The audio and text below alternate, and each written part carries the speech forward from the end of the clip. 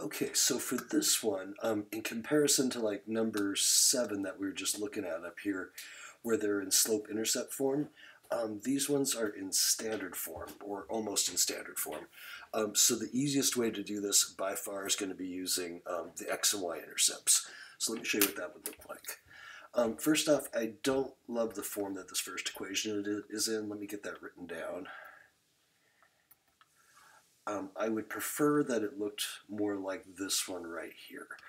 And so I'm going to bring this 3y over to the side, and then I would have 15 equals 5x minus 3y. And then just to put it in the right order, I'm going to rewrite this as 15x minus 3y. I'm sorry, 5x minus 3y equals 15.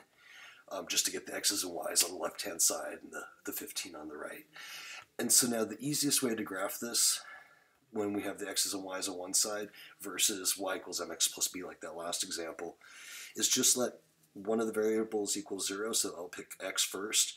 So if x equals zero, that whole piece drops out, and I have negative 3y equals 15, because this is just zero, and now I can divide the negative 3 over, and I have y equals negative 5.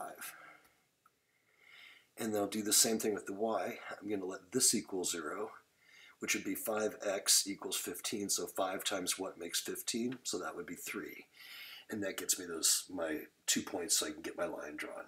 So then this next one,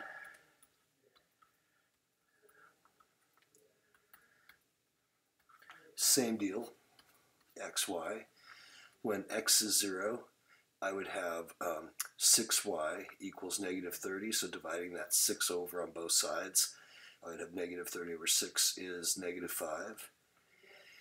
And then if I let y equal 0, I have negative 10x equals negative 30.